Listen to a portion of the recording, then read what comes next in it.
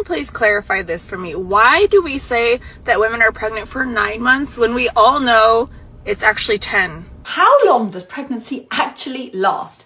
You've probably heard that pregnancy lasts nine months, but actually, when you work it out, it feels like a lot longer than that. So, why is it? Well, in reality, we say that pregnancy lasts 40 weeks. Why? Well, we start counting pregnancy from the first day of your last period, not when you conceived, which is likely to have been two weeks later.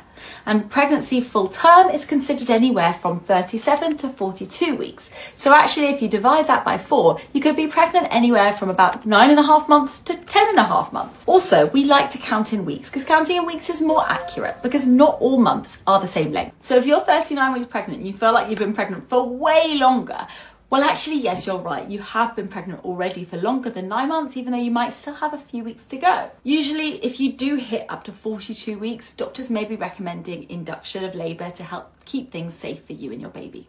So let me know how long were you actually pregnant for below.